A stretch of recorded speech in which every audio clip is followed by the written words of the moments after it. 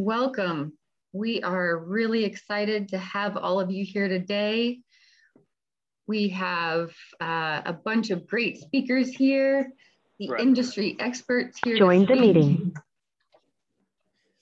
We are here with the Compost and Research and Education Foundation and the United States Composting Council. We're here talking to you about specifications and why to use compost under a grant from Join the meeting. The EPA Region 3.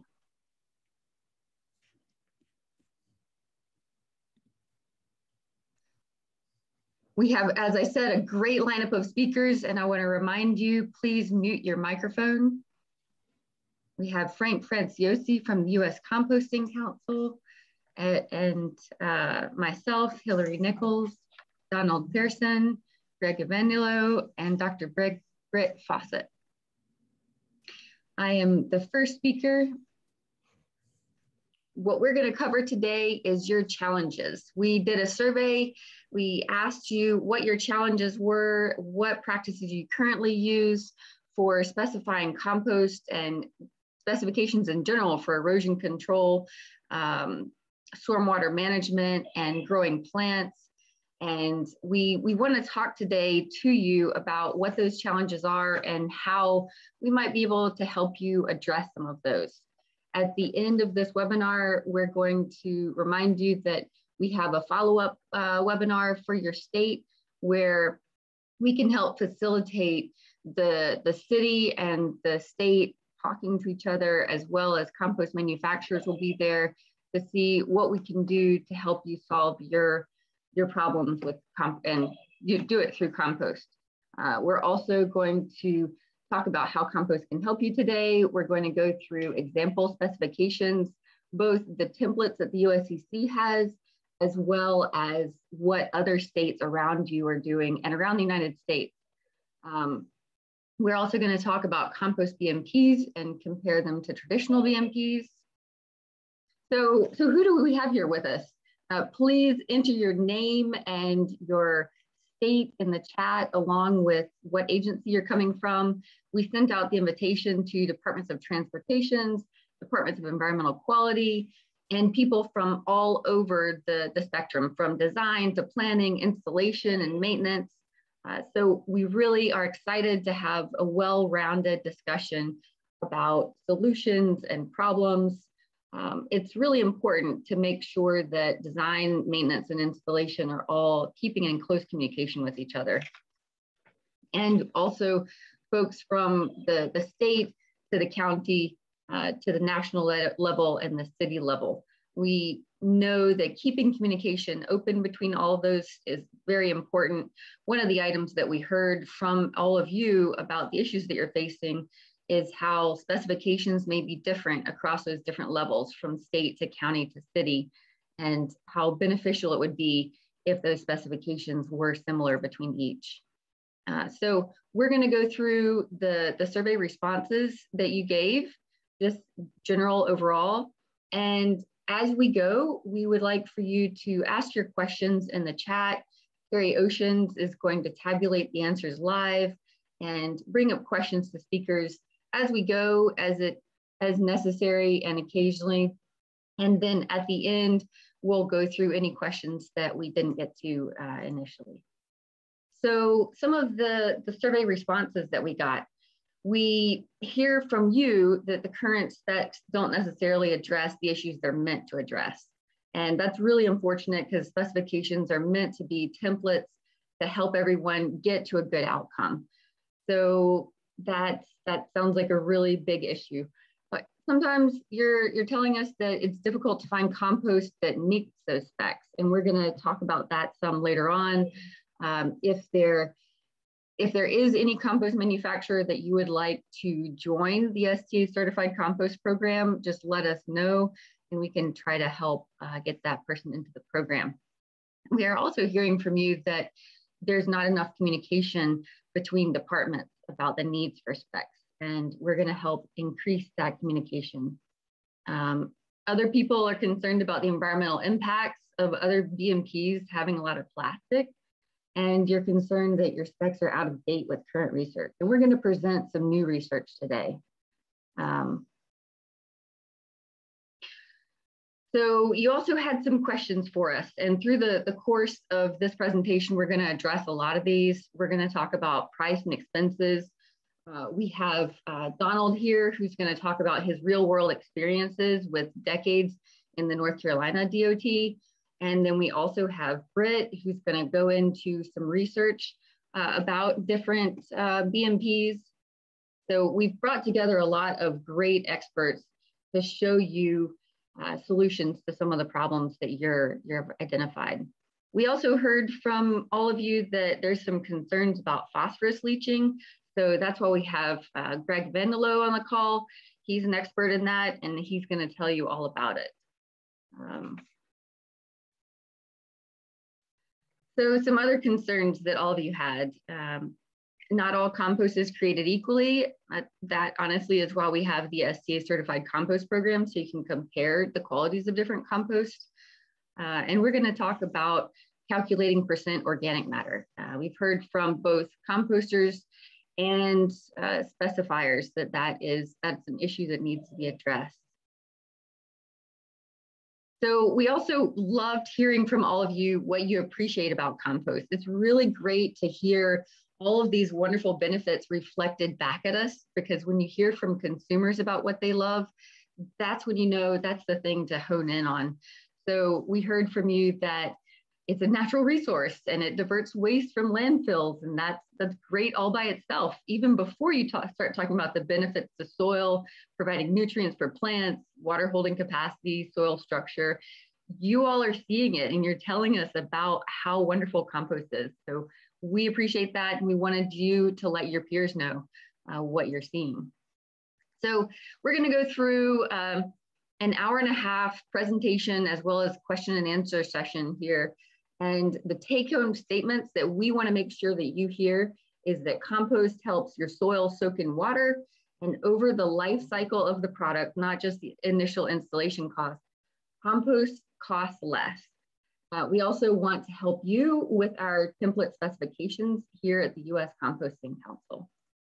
So that with that, we'll go to our first speaker, Frank Franciosi. Good morning, everybody. Uh, my name is Frank Franciosi. I'm the Executive Director of uh, both the U.S. Composting Council and the Compost Research and Education Foundation. Um, it's great to have everybody here. It's great to be talking about uh, compost use, uh, particularly on, on areas that are in desperate need of organic matter.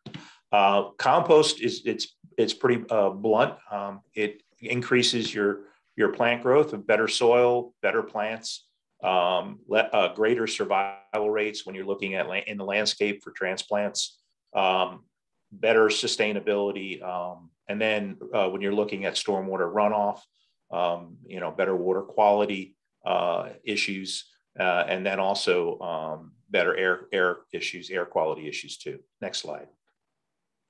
So what what happens uh, when we have uh, development? We have increased hard space um, and if you look at in nature, uh, the forest uh, floor is a nice layer um, of organic matter, um, deep topsoil layers where you have increased infiltration uh, from rain, less runoff, um, and you have more evapotranspiration with uh, the vegetation. And then when you look in the microscope into that organic matter, you see a lot of good biological activity from invertebrates, vertebrates, and as well as uh, as the microbiome of soil, which is really important when you're looking at um, the extreme conditions that you have, uh, particularly off highways where you, you don't have any organic matter and you have deep cuts and you're into subsoil.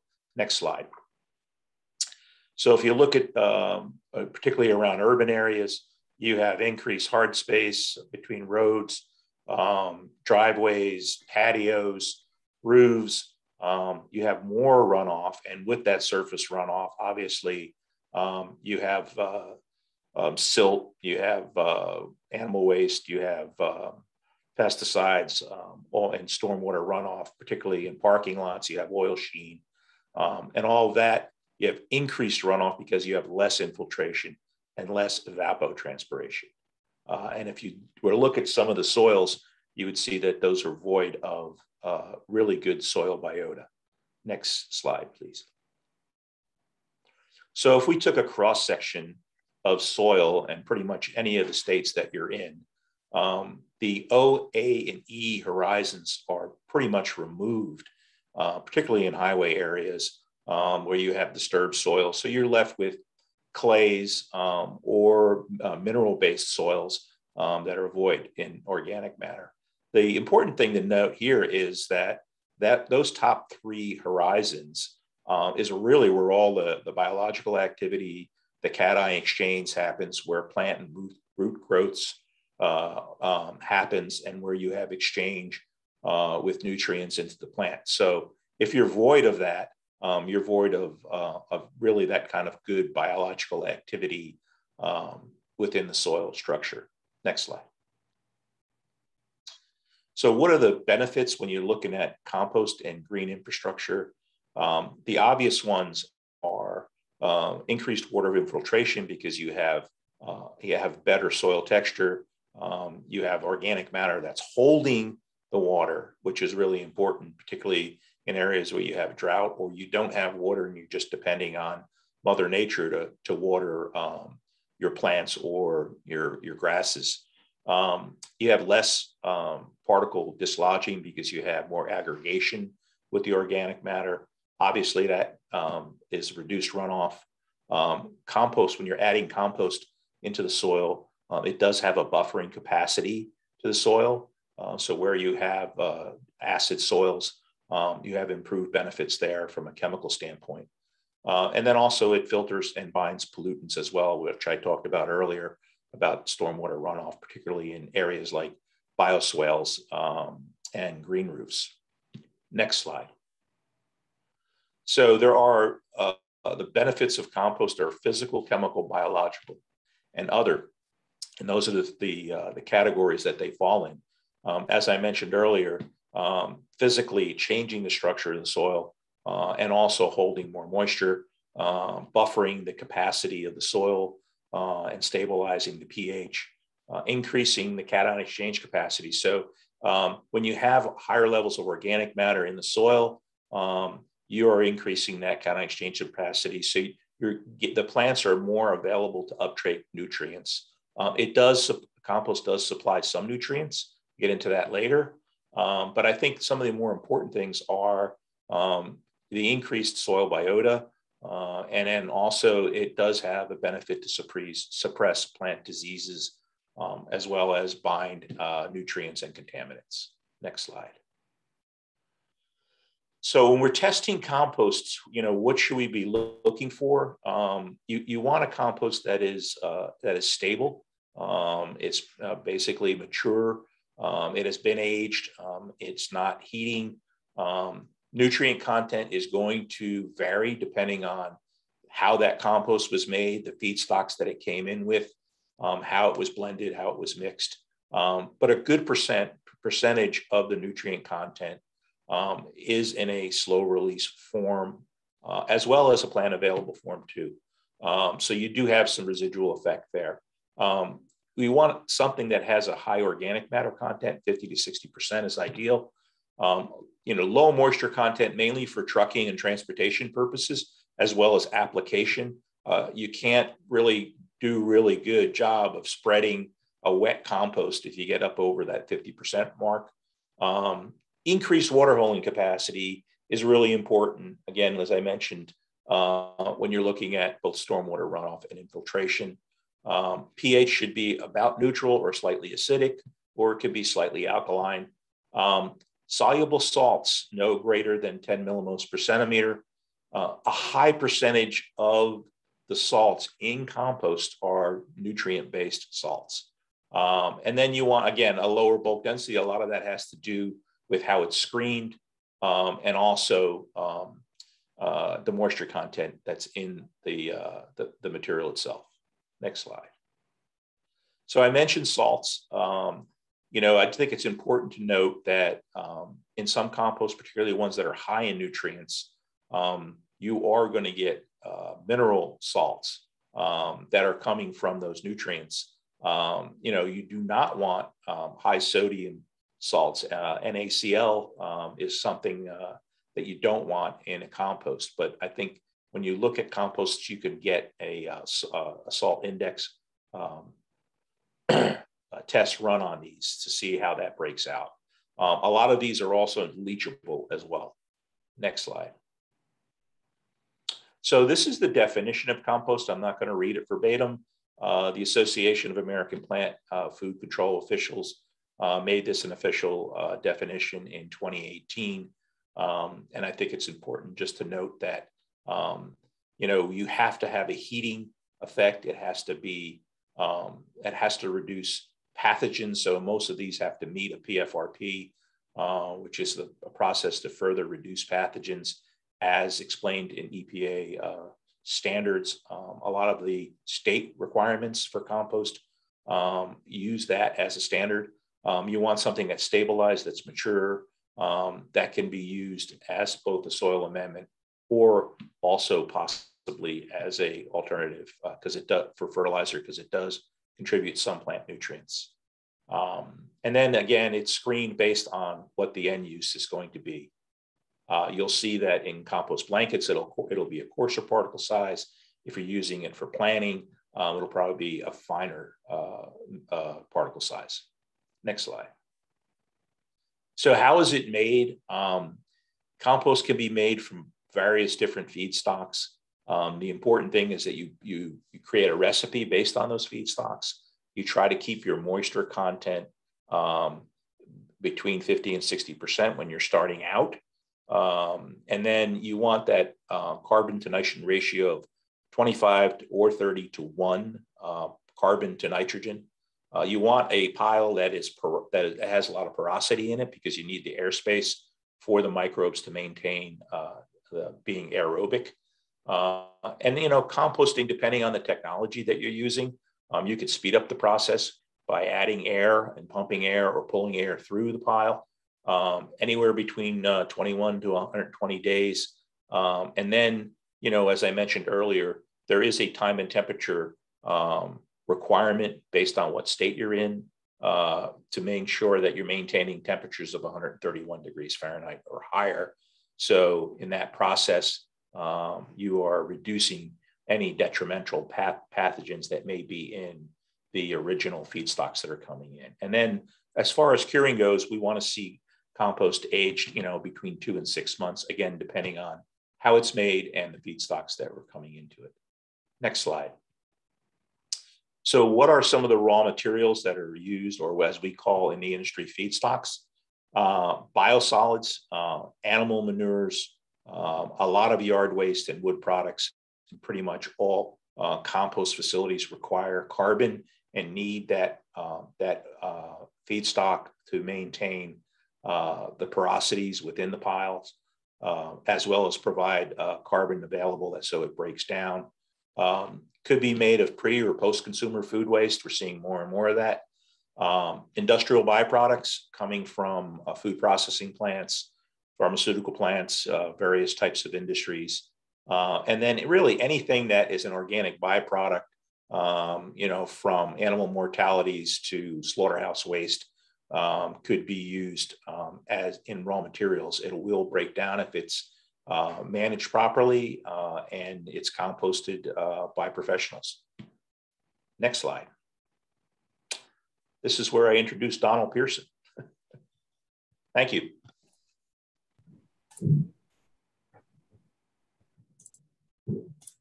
All right. Thank you, Frank. Okay, everybody. Greetings to uh, all those attended, and uh, greetings to my um, DOT uh, folks across the Northeast. I have a kinship with you as I'm a recently retired uh, DOT employee with North Carolina. Uh, just in the last couple of uh, months, I have made a, a transition after 30 plus years, and primarily was in the environmental compliance arena for DOT infrastructure in the Piedmont part of the state. And so, uh, welcome, and I hope that uh, we can squeeze as much info in here to generate lots of questions and uh, uh discussion with you so we can follow up maybe next week or uh, later. So, we'll go ahead and get started. Wanted to just um, tell you, like Frank said, or build on what Frank said about working in the B and C horizons. North Carolina, it's no different. We are uh, probably building highways in soils that were uh, not even seen by the dinosaurs, I suspect. And so the fertility is uh, inconsistent. We might get lucky through our seeding efforts and with our amendment, soil amendments uh, to maybe get a little bit of a jump start for our vegetation, but uh, odds are it's an inconsistent fertility. And so with that, we end up with some uh, long-term struggles. We may get that immediate jump in the first six months or a year of, of uh, trying to establish permanent vegetation, but long-term, we may see the turf just fade due to fertility. And so it's been probably 10 plus years when uh, Frank and some vendors uh, and some contractors in North Carolina came to visit uh, DOT and asked if they could um, offer some alternatives to improve our efforts in establishing permanent vegetation along the right of way for our infrastructure projects. Um, and, and many of you DOT folks may be familiar with uh, sometimes the right of way ends up being a research ground for a lot of uh, alternative uh, methods or the uh, interest in, in wasting materials. We've done everything from poultry litter to uh, hog waste to municipal sludge to ground up pallets for ground cover. There's been a variety of things tried. Join the meeting. I think originally the compost element kind of got lost in that. So it took a while for it to get some traction. So the next few slides I've got kind of give some case studies of uh, my experience in using the compost uh, material. We refer to it in North Carolina on DOT projects as a compost seeding, a compost blanket. Um, but in this case, you can see this is about a 30 foot cut uh, through a sandy loam soil section, Piedmont of North Carolina. Um, we did a traditional seeding effort. And as you can see uh, in the bottom right here, we, we our seed mix and what we used, uh, our, um, our efforts were good uh, to begin with, but over time through the project, it faded. And you can see uh, kind of what we were stuck with. And this is not an uncommon sight on many of the cut slopes uh, through the state in construction. Um, I talked to, uh, I think, one of the vendors that uh, the contractors that Frank had mentioned in our earlier meeting, and you know, they wanted to do a demo. And so they came out and did about 3,000 square foot, about 10 cubic yards of compost, just blew it right over the existing conditions. We didn't do any preparation. They used a uh, pneumatic uh, system. So it's a truck that actually has like a large fan wheel that blows this mulch through a hose onto the ground. Uh, based on some conversations with the U.S. Composting Council and the uh, um, and the contractor, we get about an inch uh, overlay of what was there, and you can see the uh, after we put that got that compost on the ground, this is kind of what the results were, and then in just a couple few months, we started to see some results on the slope. And to this day, uh, we still have good stabilization and some of the desired uh, species, primarily Sericea lespedeza, has generated on this slope, and now we have permanent stabilization. Um, just a few miles from that uh, previous slide was a uh, another project we had with a different um, soil type, a clay, a silty clay type soil, that red uh, common soil to the Piedmont, North Carolina. This is along uh, another interstate project where we're building and widening, adding some lanes. We built a noise wall, as you can see in the lower slide, uh, along the back. Uh, we had some trouble with traditional stabilization efforts, and so the geotech uh, engineers wanted to try this thing called the Platipus anchor system, which is, if you're familiar with that, it's driving this um, this unique uh, rotating head into the soil to a certain depth and then backing off, putting torque on it, and creating these cones of compression on the slope to kind of hold everything together. And they used a product called Pyramat, which is a three-dimensional uh, turf reinforcement product that requires some infilling if you're going to use it for uh, traditional ditch uh, stabilization. Well, they use it on this slope. We put about an inch or two inches of compost over the top of that product. Uh, the unique thing here is there was no access directly. So the truck is on the other side of this noise wall. Uh, traffic is on the lane, so we did have to do some traffic control. We'll talk a little bit about that in a minute. But we used um, we used the truck to uh, blow this this compost over the wall and down through this tube. We applied it on the slope, and as you can see, what it looked like after we finished, and the results of um, of vegetation becoming established through this. Now, in this particular uh, site, uh, I tried something different. And for some of the states, you may be familiar with polyacrylamide, which is a, a uh, product we use uh, primarily in North Carolina to uh, address turbidity. Uh, we use it in some of our um, BMPs to kind of create that um, uh, binding of silt particles with the polymer chains in this polyacrylamide. And as the sediment gets heavier, it falls out of suspension. I used it on this slope by broadcasting it with a shoulder spreader uh, to create a little bit of, um, of a Rain-X effect, if you're familiar with that product on the market, to kind of shed some water, uh, limit some of the uh, saturation that compost may have had from rainfall, just to see it as a trial. And it seemed to work pretty well. So you can see the results after application.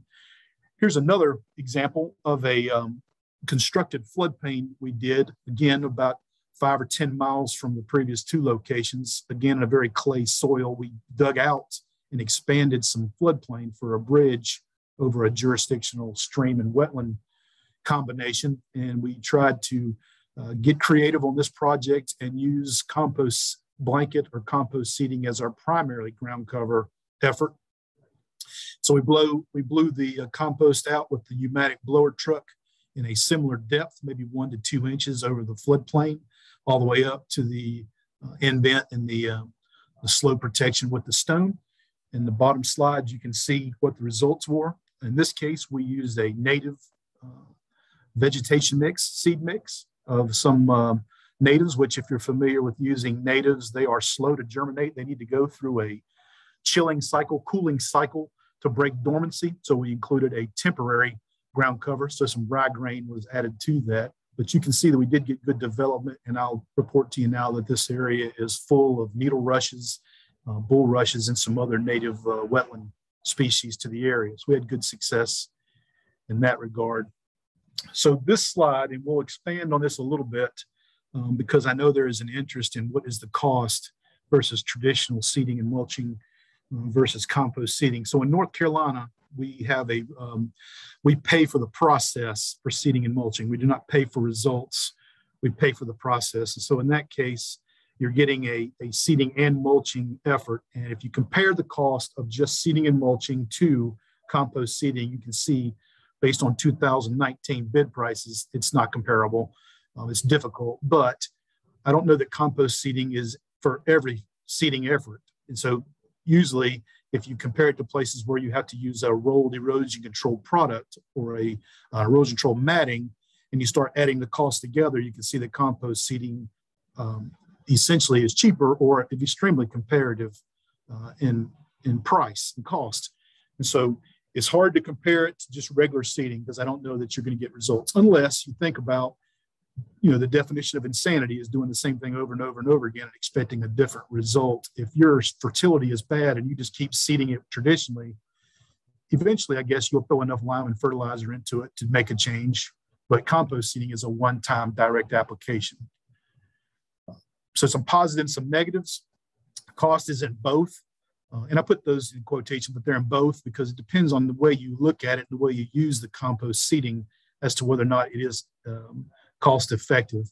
But the compost application is a direct application. It doesn't require, at least not in North Carolina, you may look at your state's environmental uh, quality group to see, but we do not have to put a ground cover on top of the compost because the aggregate that exists in compost is enough to hold it in place. So we can apply it and it is the ground cover. So it satisfies the NPDES permit requirements as well. We use it in areas where there's an accessibility challenge um, and so along railroads, if you've ever worked with the railroads, you know there is some sensitivity to how close equipment gets to it. We can apply this from the top down and get some stabilization. We use it in some jurisdictional stream floodplain, new locations to try and get a, uh, um, a soil media that can accommodate growth of vegetation.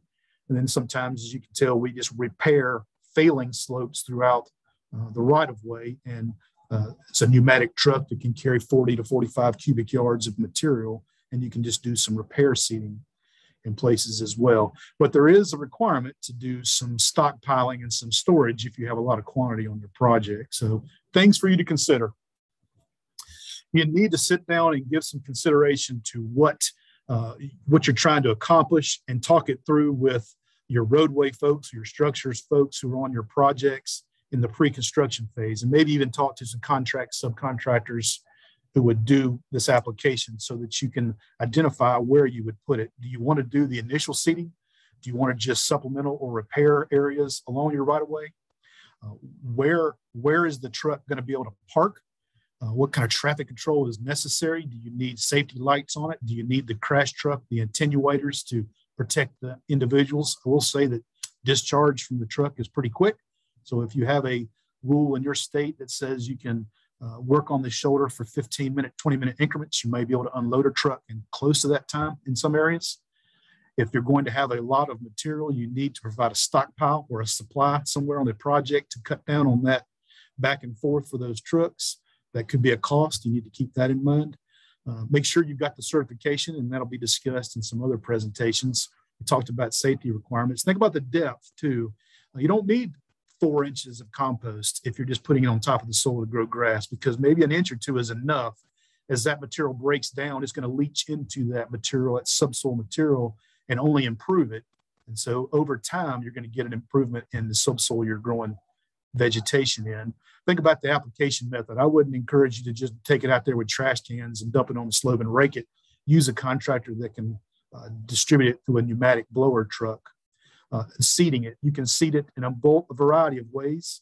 Uh, some of the, the, the, the trucks are outfit with a seed box that distributes the seed in the hose as it's being blown on the slope. Some contractors will whirlybird it with a shoulder spreader after it's been applied. Give some consideration to how you want to do that. Think about how you want to pay for it. You want to pay for it by the square yard, by the cubic yard, by the acre. Make sure you're giving some thought to this as you're building your, your provision or your contract document. And then make sure that once you do it, if you do get heavy rains and some scour or washes, make sure that you put contract language in there that says repair is incidental so that you aren't having to uh, pay an additional fee to bring the contractor back and uh, do work on those slopes to, uh, to, to, to, fill in those scours or those washes. And Hilary, this is my last slide, and then I'll be turning this back to you. So be prepared. But this this is just a comparison and a reminder that as you're thinking about compost seeding versus traditional seeding, don't look at it as a equivalent. They are not equivalents. There's so many more benefits to using a compost seeding than a traditional seeding, but one of them is the cost is not the same. But when you have to include uh, an erosion control matting cost on top of a traditional seeding cost, then you're going to get a comparison that makes compost seeding much more attractive, especially when you aren't having to add limestone or fertilizer because compost already has those built-in um, nutrients to it. So I know that was very fast. I apologize for rushing through it, but I want to make sure we do get to the next the next speaker. So Hilary, I'm going to I'm going to stop sharing this and turn it back over to you.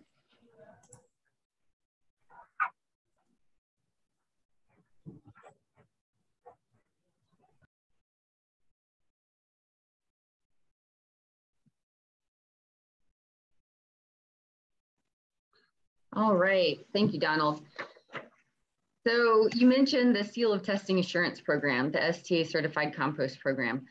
So I'm gonna tell you about that. Um, once you've decided that compost is what you wanna use on your slope, uh, you need some labeling of your product, right? Because not all compost is the same. There are different feedstocks in it. They, after it's composted, you get different qualities. Like Frank mentioned, Sometimes it can even be just what's the moisture content of the compost so that you can use the blower truck that Donald mentioned. So you need to know those qualities about the compost that you're going to purchase. And that's where the Seal of Testing Assurance Program comes in with the information disclosure and standardized testing. Uh, we're going to help you out with that. So the purpose of the program is to increase your customer confidence in your compost selection that if you're going to go out with the blower truck, you know what to expect uh, with the product that you're getting, how much fertility you're going to get out of that particular compost. They're all different, uh, and whether or not you're going to be able to utilize that compost the way that you want to. So this program is going to help you figure that out for that product. I, I want to emphasize that the Seal of Testing Assurance Program does not mean that it's wonderful compost. Uh, we do believe that compost is wonderful, but you know, every compost is different. You may need a coarser compost for some erosion control efforts. You may need a finer compost to be applied on turf. And so you need to look at the test results of your seal of testing assurance compost to verify and see which type you have uh, so that you can get the results that you want. And that's what we're proud of about the uh, seal of testing assurance program is that you're going to be happier with your results if you're careful about which compost product that you purchase. So what else, what else does the seal testing assurance program do other than just test compost and, and disclose those test results to you? Uh, we check on composter permits to make sure that they're complying with government regulations. We understand that that's a key point that many Department of Transportations are looking for. This is already in your rules and you have to go and check those permits. So we're trying to make your job easier by doing that for you before you purchase a material. Um, also, organic matter is not all compost. Frank mentioned uh, compost needs to heat up enough that it destroys a lot of those pathogens and weed seeds. So we require that any compost in our program must meet our definition of compost. Um, and it's not just disclosing the test results that we require, it's also the feedstock ingredients um, so that we can disclose to you what those feedstocks are so that you can make your own choice about which material you want to purchase. We also require that all of our compost manufacturers have recommended directions for using their products because like I mentioned earlier, not all compost is good for every application. There are different types of compost that are best for erosion control or turf use or other uses. Uh, so we want to make sure that they're helping you be satisfied with your purchase.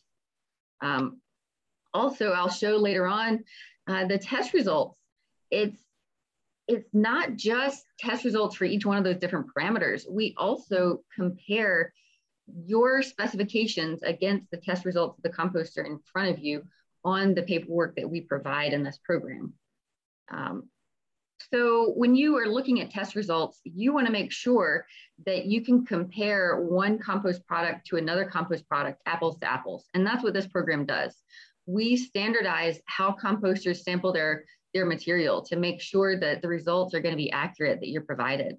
Uh, we are working with the Standards and Practices Committee of the, the Compost Research and Education Foundation to continually update our test methods for testing that compost, which we call the TMECC TMEC methods. Uh, we also test our labs three times a year against each other to make sure that those labs are proficient at running their tests. You know, you want to make sure that there isn't a new person coming into the lab that's a little shaky on the on the how to run the test. So we test those labs three times a year, and composters are required to use the labs that we've double checked. Um, and we don't test compost in every single batch that goes out the door. That can get to be cost prohibitive. And we know that that cost would get passed on to the consumer. So we've decided that for people that produce one to 6,250 tons, we're going to require that compost manufacturer to test the material every three months and on down the line. Um, if it's a compost manufacturer that produces a lot of compost, it's going to be monthly testing. So we want to make sure that you're looking at those test results and noticing when those test results came from. Are they within this time period? You want to make sure you have recent test results and that you are provided with a history. That's one of the benefits of the seal testing assurance program is that you're not just getting a one-off test result in order for somebody to get a bid. You're also getting a history of test results so that you can see over time how how they've been doing with producing that compost. Is, is there some variability? There's going to be variability, and how much it varies so that you can make a good choice with the product that you choose. Um, so once you get those test results, what what's required for passing those test results? For the seal of testing assurance program, you need to pass uh, heavy metals and pathogens to the EPA limits and disclose all the other parameters so that, like I said, you can make your own intelligent decision.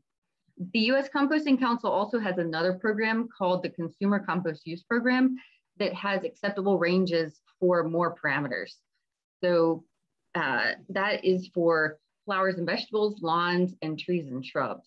So that becomes a little bit more of the standard for a compost product that some of you might be looking for.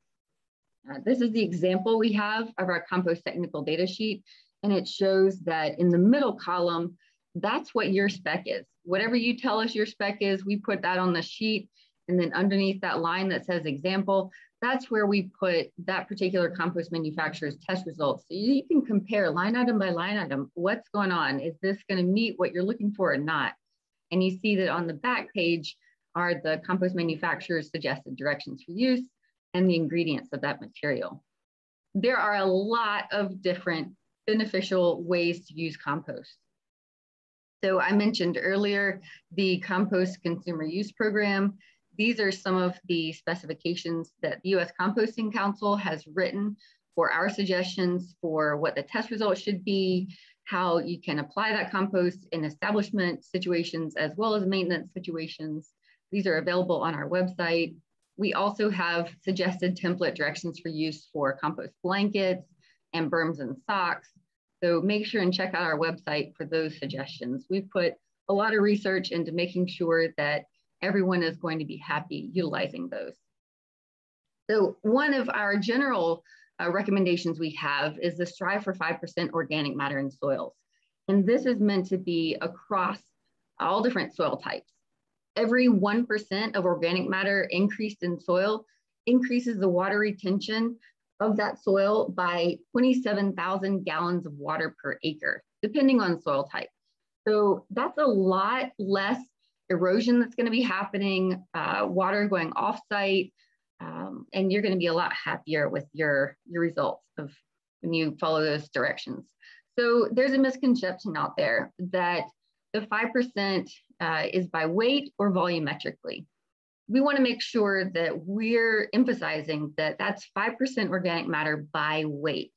You get extremely different test results if you try to apply that number volumetrically, which is volumetrically feels more intuitive for some people, but unfortunately, it can mean a widely different amount of compost that you apply. And people are generally not as satisfied with the results they get when it's volumetrically. It's, it's too much compost. So to calculate it, you need both density and the percent organic matter of both the native soil and the compost you select. So here's the formula that you can go through. We're gonna create an automatic calculator on our website to try to make this easier for you. And we're gonna provide these slides after the talk so that you can go through and look at this formula to make sure that you're calculating 5% organic matter correctly to get the results that you want. So we also have up on our website other people's specifications. These are different state DOTs who already specify STA certified compost and believe in it. Uh, underneath each one of those links is more detail about the language they put into that specification. We also, in this effort with the EPA Region 3 grant, have put a lot more effort into finding out what other states do.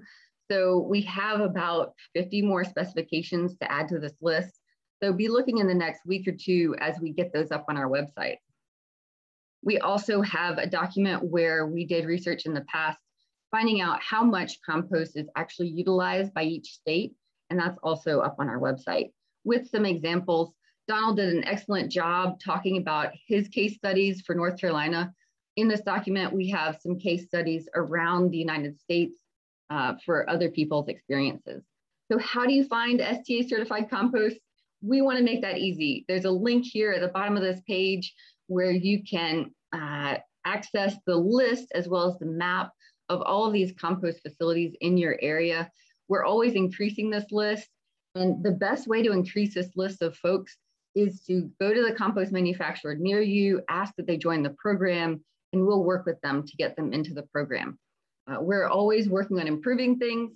So we have just started working with a programmer get our database up into the uh, 21st century, and we're gonna work to make this map searchable and make it a lot easier for you to find what you need. So we also appreciate any feedback you have on what you're looking for in order to do that. All right, so now we have the wonderful Greg Evanylo who is gonna help us out about phosphorus.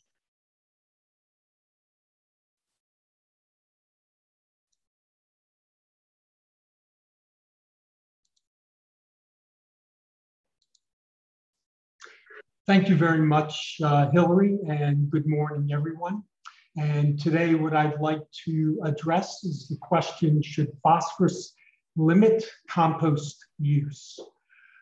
Uh, we know this is an important issue because when compost is applied as normally recommended, uh, phosphorus in the soil increases to very high levels. Uh, some, oops, let me, uh, okay. Uh, so we know this is a, uh, an important issue because when phosphorus compost is applied, phosphorus increases to very high levels. And these levels uh, may uh, result in movement of phosphorus to surface water uh, where it can impair uh, surface water. before I um, uh, talk to you about a uh, field research site in which we can demonstrate the use of phosphorus in compost. I'd like to look at, first of all, at the phosphorus cycle as a reminder of uh, the interactions of phosphorus from compost in the soil. So when we apply compost as either animal manures or biosolids or plant residues, majority of the compost in the soil, or in the, in the, uh, the majority of the phosphorus in the compost is in that material as organic phosphorus, but this quickly mineralizes or decomposes to a very soluble source of phosphorus uh, uh, known as orthophosphate and, and, shown by these two uh, compounds. It is this source of phosphorus that is very readily available for plant uptake. Now, once this phosphorus is in the soil, it has interactions with very, various soil components, such as the mineral surfaces of clays and iron oxides and carbonates. So we can have the great majority of soluble phosphorus being held uh, very tightly by these soils.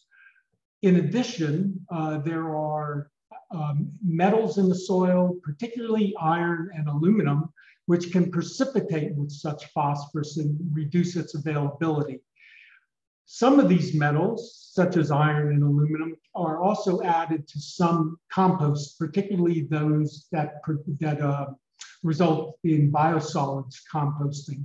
Uh, so that the phosphorus in biosolids compost, for example, is much less soluble.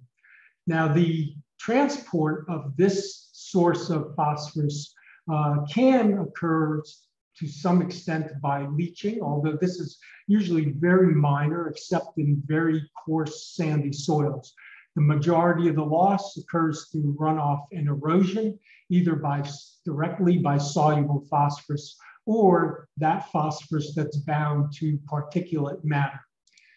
Let's now look to a research study in which I'll demonstrate the use of compost uh, on phosphorus interactions in the soil. For five years in Orange, Virginia, at Virginia Tech Experiment Station, uh, we applied uh, uh various organic amendments uh, to a Fauquier silty clay loam soil having 8% slope, which could be subject to much runoff and, uh, and erosion. The treatments that we that I'll show you that we compared were control, in which no amendment was added throughout the five years. Uh, all the nutrients for the plants were based on residual in the soil. We also applied fertilizer according to soil test needs, and then three sources of organic wastes, a poultry litter, a poultry litter waste, uh, yard waste compost, and a biosolids wood chip compost based on their nitrogen availabilities and the nitrogen requirements of the crops. And the crops in this rotation included a number of vegetable and agronomic crops. Let's first look at the phosphorus contents and, and rates that we applied. So for these organic amendments, the poultry litter, the poultry litter compost, and the biosolids compost, we see that the poultry litter and the biosolids compost had by far the highest concentration of total phosphorus. There was significantly less in phos total phosphorus in the poultry litter compost due to dilution of the poultry litter by the, uh, by the yard waste that was blended. So, so these are the total amounts of uh, in percent of phosphorus in these various products. Now, if we look at water extractable phosphorus, which is an important criteria for potential solubility and runoff, we see that the greatest amount of water extractable phosphorus was in the poultry litter and significantly less in the poultry litter compost, uh, largely due to dilution, but also probably to other binding properties of this compost. Surprisingly, the biosolids compost, which had the highest amount of total phosphorus, had only a scant amount of water extractable phosphorus.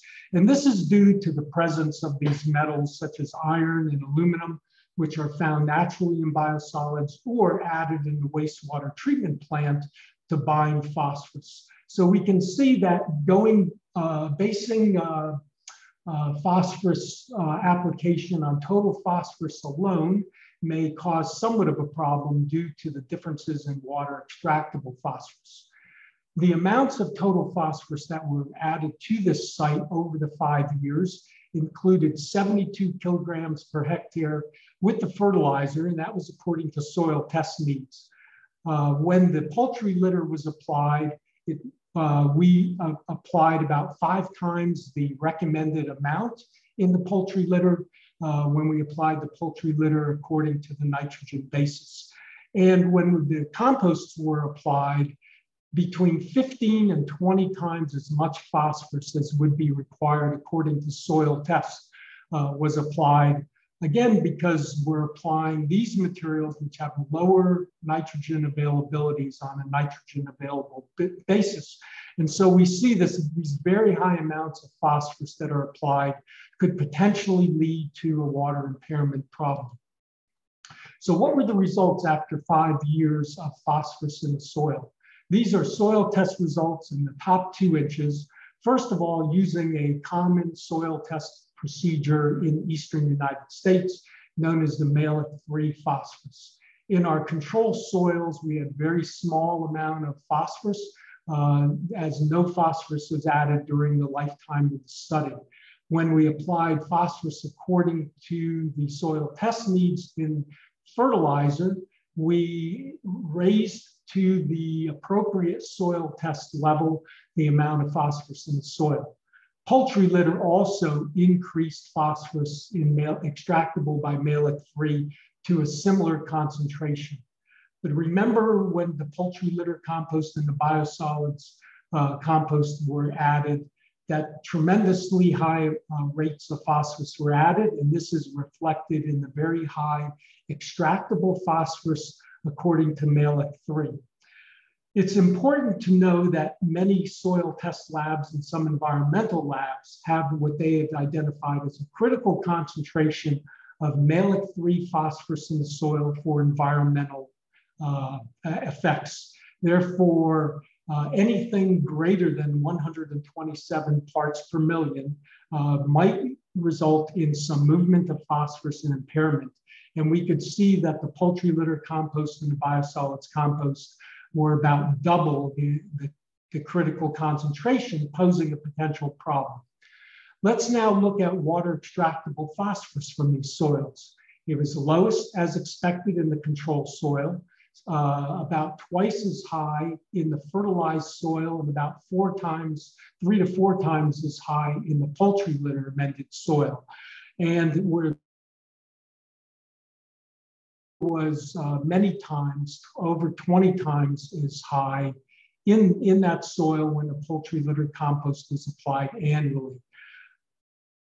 For the same uh, uh, amount, nearly the same amount of total or extract phos, uh, 3 extractable phosphorus in the soil. However, the biosolids compost gave greatly lower amounts of water extractable phosphorus again, likely due to the high amounts of iron in this product. So this is an example of all compost, even those having same extractable soil test phosphorus, may not be the same because of other factors like uh, phosphorus binding metals. So in this study, we also conducted some simulated rainfall in order to generate infiltration and runoff and look at the potential for phosphorus moving from this site. Uh, this is an illustration showing our rainfall simulation. TARPs, rainfall on this about two inches an hour. For each experimental plot replicated four times, we rained on this site two, uh, at rate of two inches an hour until uh, runoff began to occur. Then we measured the amount of uh, runoff that occurred in the next uh, 30 minutes to an hour. And also then we're able to calculate the amount of water that infiltrated, the amount of water that ran off, and we were able to measure in the runoff composition of that runoff water. So here we see uh, the infiltration and runoff from these sites.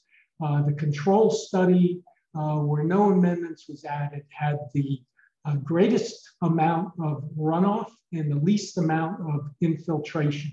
As we moved to the fertilizer, there was uh, not really a significant effect, even though there was a slightly absolute increase in the amount of infiltration, potentially small uh, uh, reduction in, in runoff.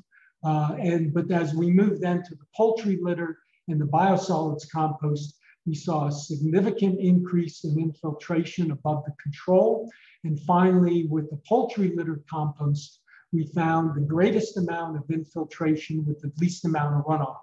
So recall that it's not just the concentration of phosphorus in the soil, but the potential for transport through runoff that that uh, in, infers the risk of phosphorus loss. So we looked at the runoff phosphorus losses by analyzing the runoff water and multiplying it times the volume of water that left the site.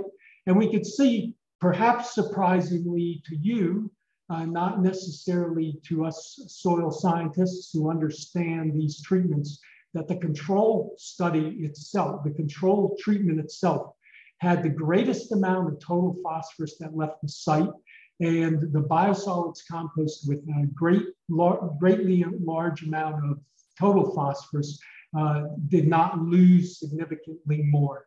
And in fact, the poultry litter compost, which had the greatest amount of water extractable phosphorus, lost the least amount of total phosphorus from the site. Uh, in, in, terms of dissolved orthophosphorus, there was no difference in grams per hectare of that leaving the site. So why did this occur?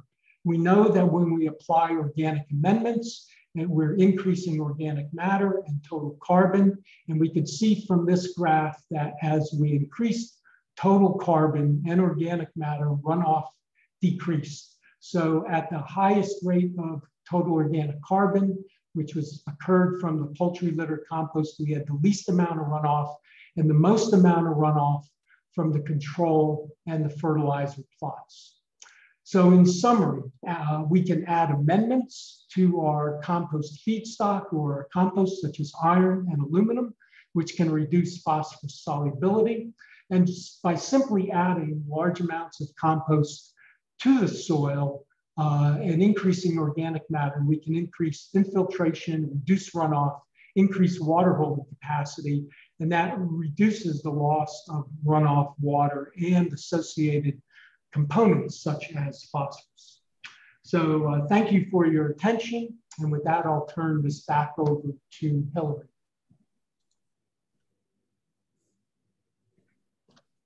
All right, thank you, Greg. And next, we're gonna hear from Dr. Britt Faucette.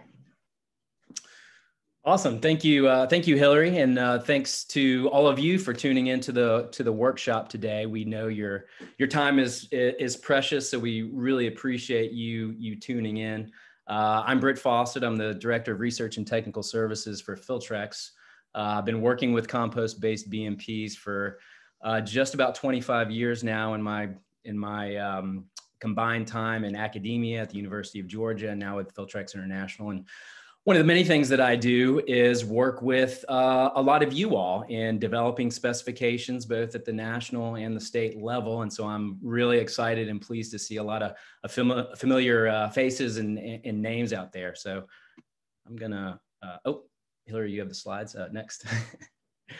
I always like to start with a bit of an outline of how I'm how I'll move through. And, and one thing I'm going to do, if you'll permit me, is I'm actually going to turn off my video. I'm going to wave to you. I'll come back in a moment at the end, but just to control bandwidth.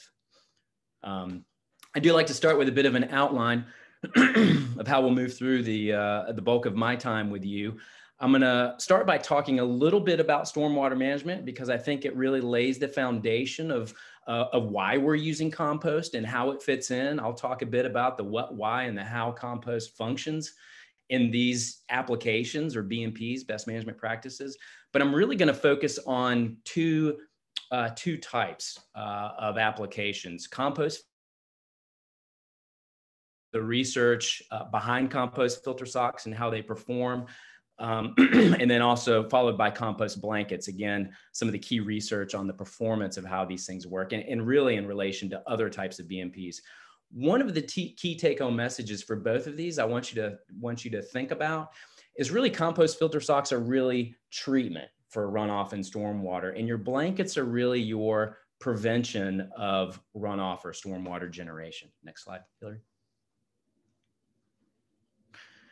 Uh, I, I, think Frank uh, showed you a version of this slide. I'm, I'm going to share it again because it's honestly, it's one of my all time favorite slides. And I think in, it shows in a very efficient and very effective way what happens when we change our land use patterns uh, from natural systems like you see on the left to greater land disturbance, more impervious surface and urbanization as you move to the right.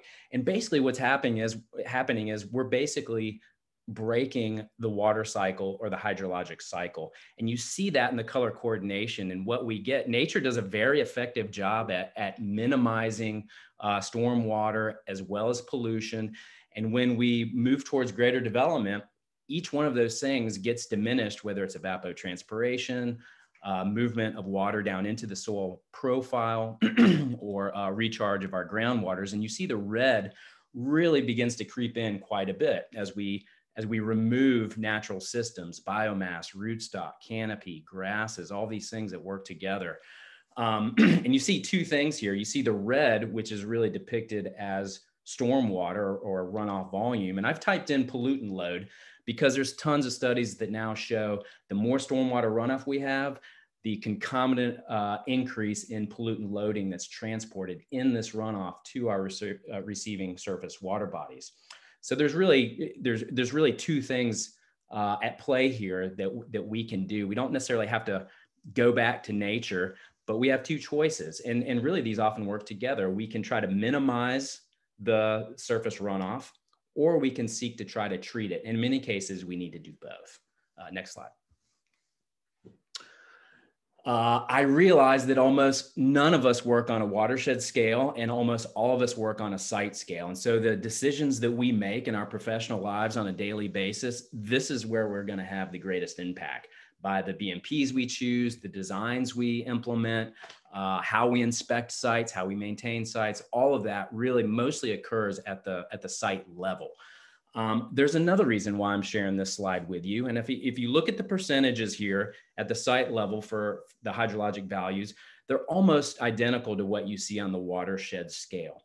And what happens as uh, not we here on the at the workshop, but the collective we, when we develop sites, generally what happens is we'll uh, we'll clear off the vegetation scrape off that organic matter and topsoil down to the subsoil and we never really replace it. That can take thousands of years to generate in some cases. Uh, but this is where compost begins to fit into the equation. We can actually replace the the hydrologic performance of that organic matter and topsoil layer uh, with a compost blanket. Uh, you look at that arrow that's pointing down 35% that's infiltrated uh, we know this is a, a, natural process, what we call biofiltration or natural filtration of stormwater. With a compost filter berm or compost filter sock, we don't have to have infiltration to get that occurrence now. We can actually put that above ground in the flow path and we can deploy it nearly anywhere we, we need to on a site because we know in developed sites, runoff is going to be greater and pollutants are going to be greater. So if we can deploy these things where we need them the most, that's critically important. Uh, if you look at the seven key design elements of low impact development or green infrastructure, You'll notice that squarely four of these can be addressed pretty effectively by the use of compost blankets and compost filter socks. Uh, and I've highlighted, a bold, I've put in bold uh, highlight which ones I'm referring to. So infiltration, compost blankets can greatly uh, uh, influence and improve infiltration on disturbed soils. Uh, they can restore natural evaporation rates. We actually design surface roughness right into the compost blanket. I'm going to talk about each one of these in more detail momentarily. And then finally, biofiltration, and that's the use of a compost filter berm or a filter sock to get natural form of filtration. And, and really, some of you may have heard of this concept of biomimicry, which is innovation inspired by nature. And this is really where the, the, the design and the application of compost-based BMPs has really come from. We look at these natural systems and how they work and how they perform and operate, and we're utilizing compost to mimic those systems. Uh, next slide. If you're relatively new to these these these these practices you may be somewhat surprised to know that basically every federal agency or national organization that has the ability to specify or create a guidance document for compost based bmps has done so. Uh, the us epa's national menu of bmps the usda nrcs the army corps of engineers the original one was the american association of state highway transportation officials. As hilary mentioned the us composting council also has specifications and really at least one jurisdictional state agency, if not both, in all 50 states, whether it be the transportation department or the state uh, EPA or DNR, uh, depending on the, the name of that agency. Uh, next slide. So let's talk compost for a minute. so all of the applications that I'm going to talk about use either one or two types of compost, and they're both visually depicted here. The one on the left is what we often refer to as a, a filtration media or a biofiltration media. You can see it's a very coarse media. Uh, it's designed for optimum filtration of pollutants as well as passive flow of water. And then the, the media on the right is what we use for compost erosion control blankets. It's also coarse, but not quite as coarse. And it's designed for optimum water absorption as well as plant growth. And at this point, you may be looking at these and thinking, wow, neither one of these look like compost that I'm used to buying or utilizing. And if you're thinking that, ding, ding, ding, that is a key take home message. In fact, I would go so far as to say that the compost that we often buy in a bagged product at your local garden center or use in our gardens is actually a low quality compost for these applications. And it's only because of the particle size. Okay, that's the that's the key thing. So if you utilize that type of compost in these applications, you will get diminished performance. And, and all the information I'm about to share with you actually does not apply. Okay, it's all based around the development of, of compost that you see here. Next slide. So here's a, a, a big list of uh, compost-based stormwater management practices. These are all generic terms. The ones on the left are construction activity stormwater management, uh, AKA erosion and sediment control. The ones on the right are post-construction stormwater management. now I've highlighted the ones in red font that use this very coarse compost media, uh, the filter media. I'm gonna, I'm gonna start by talking about those uh, and generally in compost filter berm and sock applications. And then I'm going to move to the compost blanket type applications. Uh, next slide, Hilary. Give you a bit of a visual representation of what uh, a lot of these look like in the field from utilized for slope interruption. Join the meeting.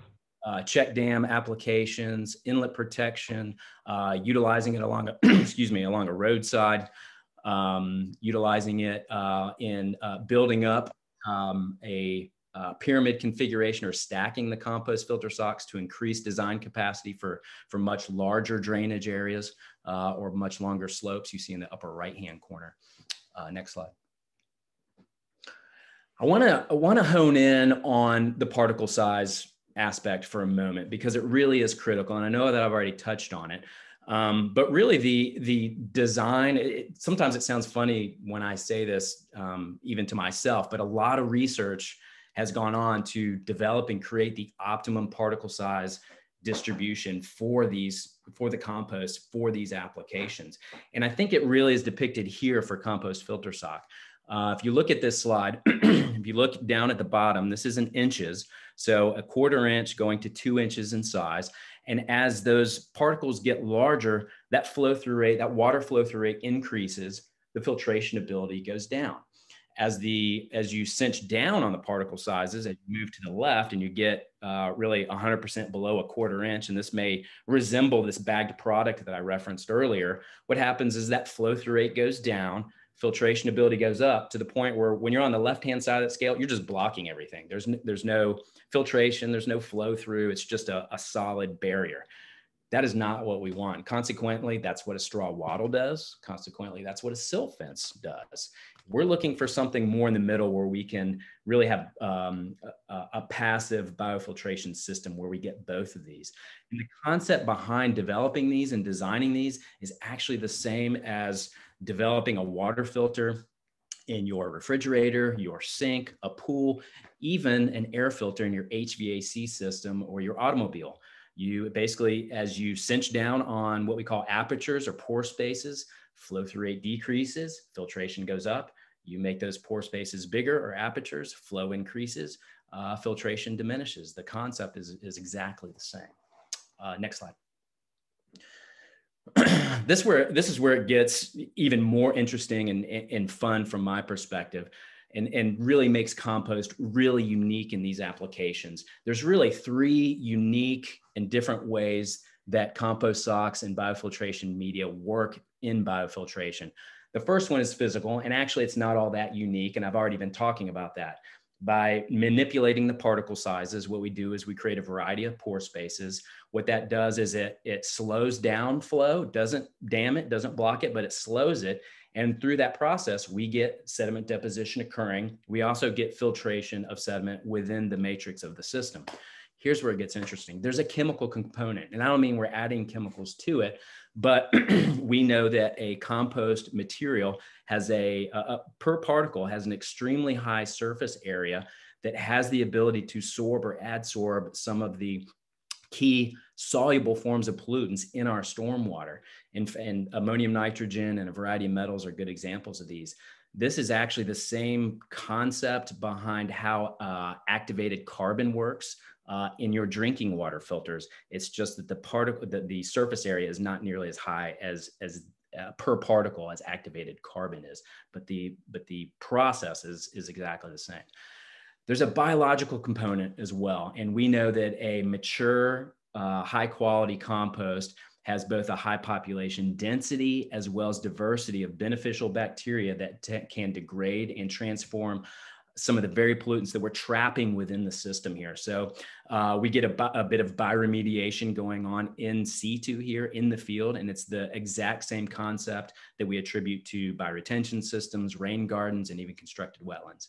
There's a fourth one here that I have not typed into the slide because it's more of an option, and that is phytoremediation. And we can choose certain plant materials and seed them or plant them into the sock or the berm to uptake specific pollutants into their biomass through their roots, thereby taking it out of the flow path and increasing the longevity or functional longevity of these systems. Uh, next slide, Hilary.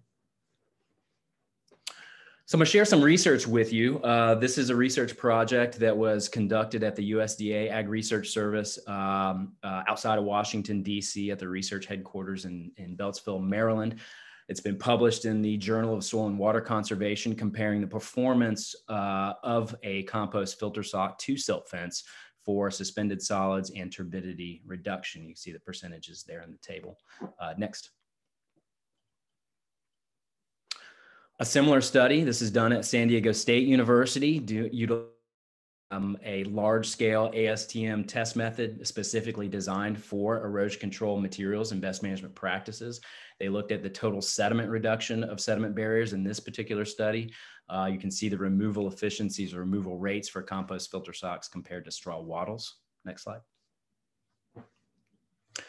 And then another study. Uh, these are done, uh, this was done at the University of Georgia, also published in the Journal of Soil and Water Conservation, looking at the total suspended solids reduction of a variety of, of uh, sediment barriers made of natural materials. So here they looked at compost filter socks, uh, wood chip berms, as well as straw bales.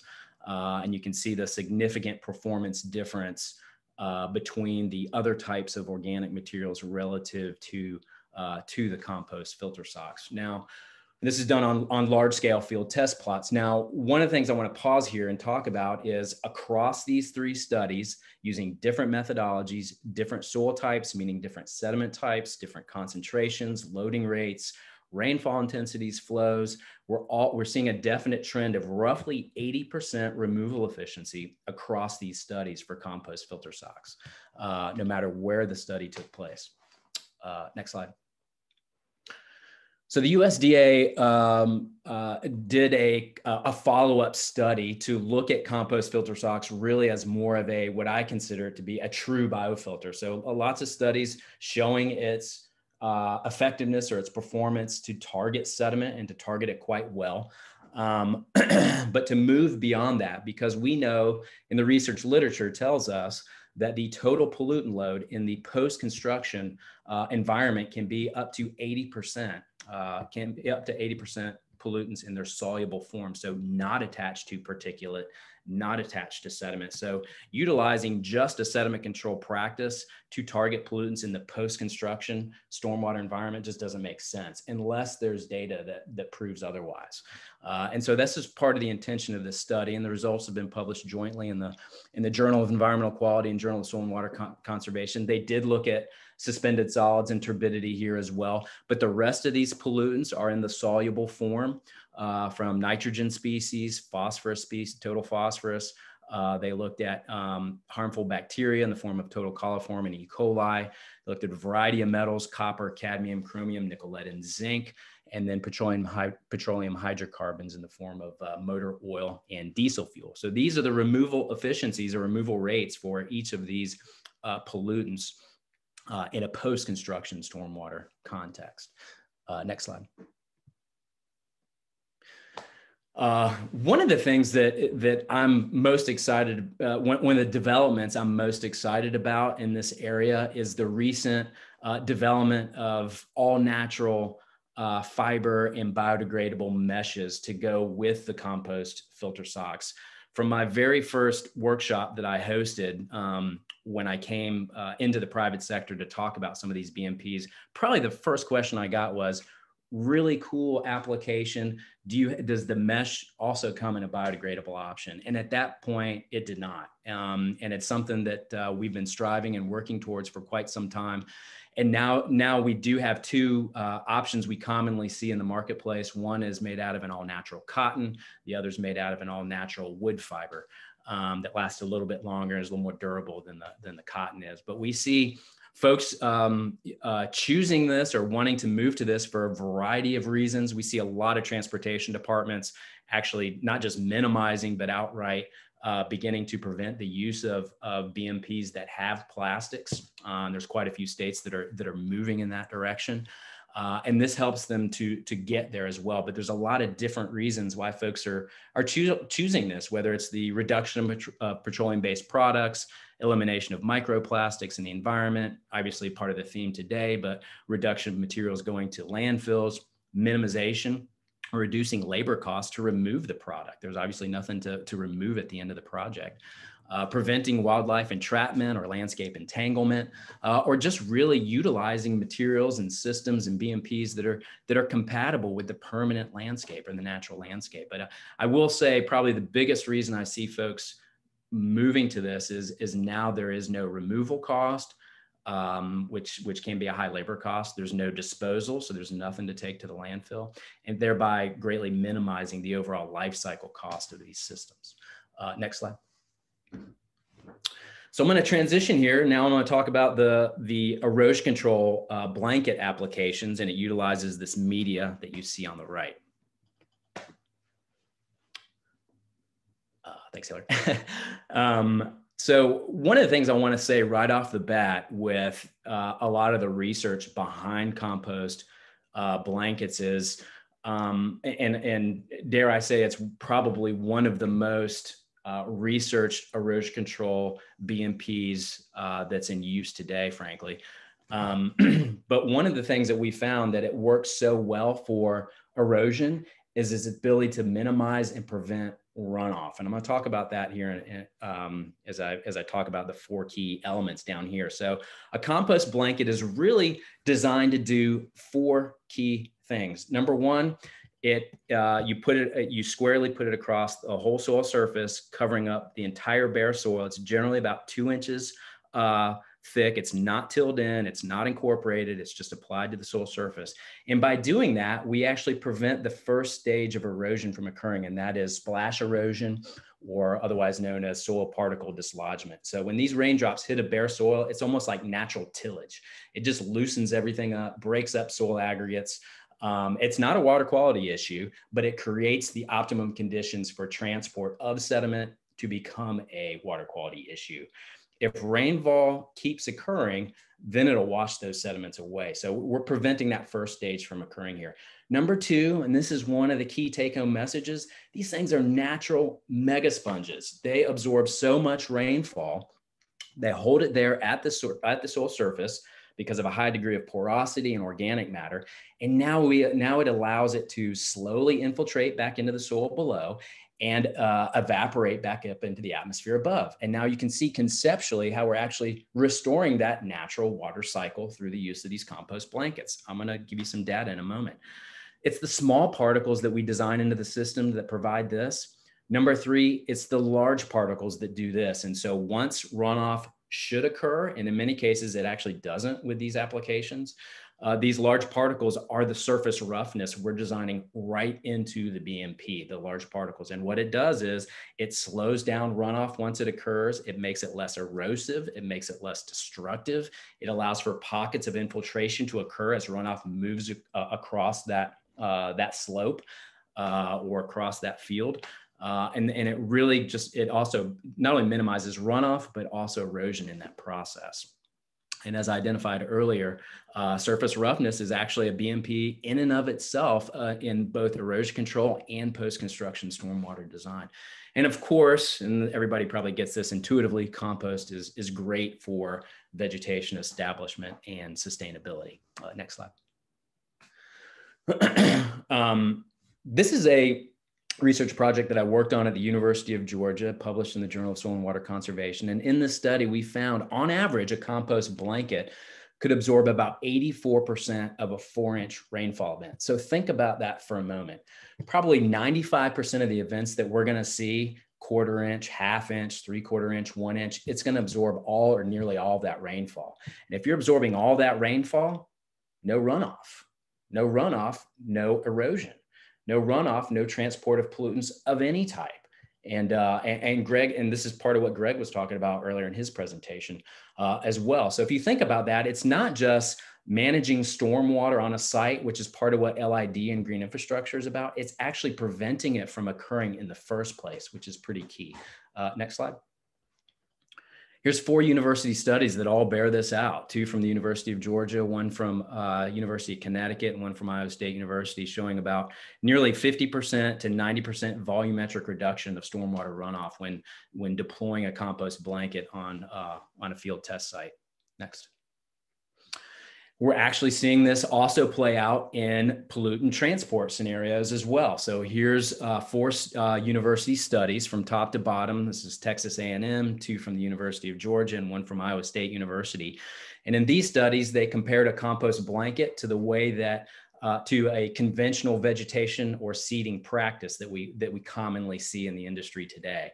And so these are all uh, percent reduction values in and what the compost showed versus the conventional practice. And I put in parentheses in each study uh, what those were seed and fertilizer, hydro mulches, and seed and, and topsoil. So, um, just to give you an example, um, in Mukhtar et al. 2004, a compost blanket reduced total nitrogen loading in the runoff by 88% compared to seed and fertilizer. 45% for nitrate nitrogen, 87% for phosphorus species, and 99% of total sediment transport. So basically, what we're seeing here is two trends. One, we're seeing the trend uh, across all of these studies, but we're also seeing it across pollutants. And one of the chief reasons why is just their ability to absorb so much rainfall, thereby minimizing runoff and thereby also minimizing transport of pollutants as well. Next.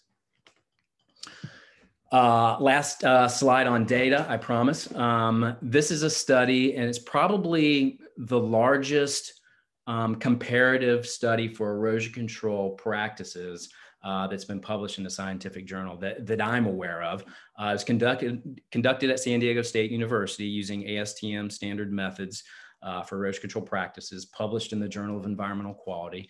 They utilized a two to one slope. And you can see here the different practices that were evaluated, compost blankets, uh, single net straw blanket, single net excelsior fiber blanket, double net straw, double net coconut fiber, a tackifier, and a polyacrylamide and really in, in the in the storm that they use is a design storm they use for this method. They use two inches per hour for 20 minutes four inches per hour for, for the next 20 minutes and then six inches per hour for the last 20 minutes for, for a total duration of an hour in a high intensity environment. And the point of the method is to find failure points of these practices. And and it did do that. And you'll you'll see that in the results here that the compost blanket outperformed all these other industry erosion control materials and practices, even more than the previous conventional wisdom that a double net coconut fiber blanket is the highest performing uh, erosion control product on the market.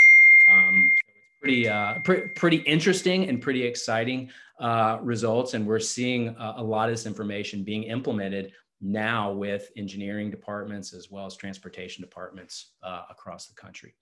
Uh, next slide. I'm going to transition back to Hilary, but I wanted to leave you, as we do with this quote from a dear friend and, and uh, mentor of mine, Dr. Jordan, uh, comes from one of his books. Uh, I'll let you read it, but I thought it was pretty precedent for the, the topic that we're, that we're discussing today. Uh, and also that he, he wrote this about 50 years ago as well. Uh, thank you, Hilary. Thank you all. All right. Thanks, Britt. And thanks to all of our speakers. So I want to remind everybody our take home statements are compost soaked in water, compost overall over the life of the product costs less, and the US Composting Council. And as Britt said, a lot of other great organizations have template specifications. So next step, uh, we're going to answer questions in the chat. Carrie has been uh, tabulating all of those questions you've been asking. Some of those have been answered in the chat. And I want to remind you that we have state specific breakout meetings next week. Please bring others to the table for the meeting. We'll answer questions. We'll find out from you if you're ready for us to help you facilitate developing specifications or modifying specifications for your area. Or if you need, like Donald mentioned, his aha moment came after there was a, a, local research study. It was North Carolina State University for him. It would be a different university for you do a study to compare BMPs for you in your area to look at a trouble site that you have and see how compost performs on that. So we're gonna have those breakout meetings next week. Uh, we are at the end of our meeting and if anyone is available to stay later, we will continue answering those questions in the chat. So Carrie, will you take it from here? Uh, yes, uh, thanks Hilary and uh, thanks to everyone who's hung in there. It's been a great webinar. Uh, both Don and Greg have actually typed their answers already to the questions that were submitted to them.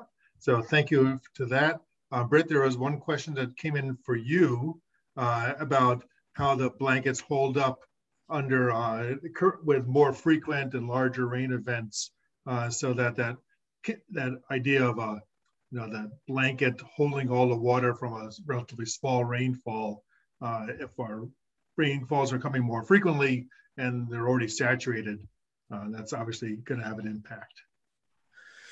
Uh, yeah, eh, so good question. So, yeah, what I'll say is um, most of these studies that I shared with you used um, high accumulation events to evaluate compost blankets.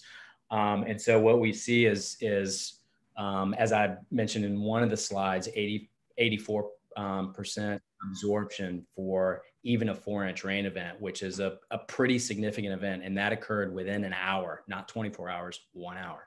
Um, that's pretty high intensity and accumulation. What I will say is once you begin to get above that, and we've seen in some of that ASTM testing too, is um, uh, it begins to, uh, you begin to see uh, surface rilling in the compost. Um, and uh, and it begins to shed in that way, and you begin to see that erosion that way. Obviously, no, nothing is really designed to hold up uh, under uh, really high accumulation events. Um, the other thing I'll, I'll say, and I've seen this in a lot of these comparative studies, is in a compost blanket where you may see some of that rilling in, in a very high accumulation event like that or high intensity event. and uh, when you're utilizing a rolled erosion control product, uh, you often may not see that, but it's because the, that's all occurring underneath. And that does occur and actually occurs much uh, sooner or much quicker during these uh, lower intensity and lower accumulation events. And, and in fact, in the in the field, we would never go back and, and roll up one of these blankets and see what's going on underneath. Whereas uh, with compost blanket, at some point you would potentially see that. So it's a good question. Thank you. And before we go to our next question, I want to say again a big thank you to the EPA Region 3 for giving us this grant, the Compost Research and Education Foundation, to do this work with you all now. Yeah, uh, I guess we have time for maybe one or two more questions. We are kind of running late, uh, but uh, Britt, there was a question just came in about uh, what keeps compost from sliding down the hill under high intensity. If you're on a slope and you're getting good rainfall, why doesn't that compost end up at the bottom of the hill? It is organic. Uh, it floats. Yeah, good question. So um, one of the, th- one of the first things we'll do is we'll um, roughen the soil surface um, to help uh, to help it stay there, um, and that actually helps quite a bit. But the other thing we've seen, and I and I know this may be a little counterintuitive that that if it's not stitched together, that would all float or move. But actually, what we see is is just natural rill and interrill erosion begin to occur at these very high accumulation intensity events um, rather than the whole thing moving or floating. Um, and, I, and I've seen that in, in quite a few high intensity duration studies, even on steep slopes. Now, the one caveat I will say is when you do get to steeper slopes, like above two to one, then we'll uh, then we'll we will begin to combine a a very minimal um, natural uh, net underneath uh, to give it more surface roughness? It's a good question. Great, thank you. And can we also have Greg uh, verbally answer some of the questions that you've been answering in the chat? I know that um, P is a big concern for some folks. Sure, I uh, need to go back to the chat to recall. So um, so there's a, I know one question was about um, phosphorus movement in bioretention cells. And can we use sort of the same uh, basis, scientific basis for uh, predicting that as we would in a soil that's amended with compost? And we, there's been research, there has been research on phosphorus uh, movement. And in bioretention cells, though, there tends to be uh, great potential for, or more potential for phosphorus leaching through the cell because bioretention cells tend to be 85 to 90% sand as opposed to a, uh, a subsoil in, in a soil. Even in our coastal plain regions, our subsoils tend to have significant amounts of clay. So there's potential for leaching losses through a bioretention cell uh, uh, that may be greater than, uh, than runoff because the bioretention cell is designed to collect all of the uh, water flow from a uh, from sort of a small watershed and funnel it through uh, the medium in order to clean it. But one can um, one can uh, um, mitigate those potential phosphorus movements by, uh, by making your medium more phosphorus binding. And I mentioned the use of uh, water treatment residuals or steel slag or, or other sort of metal uh, waste products that would increase the binding for phosphorus. And we see a variety of bioretention cells, some that uh, act as sinks of uh, for phosphorus and some that act as sources, and that's usually associated with the, uh, metal content of them. Excellent. Thank you, Greg. I want to again give a big thank you to the EPA Region 3 for giving the Compost Research and Education Foundation this grant. Um, this has been also the U.S. Composting Council contributing, and we've had a lot of great speakers, Greg, Britt, um, Donald, Frank, uh, Carrie, myself. Thank you all for being a part of this and thank you all for attending. We, we really appreciate it and we hope that we can solve some of the issues that you're seeing and we hope that this webinar has been helpful. We look forward to seeing you next week in the breakout meetings. Take care.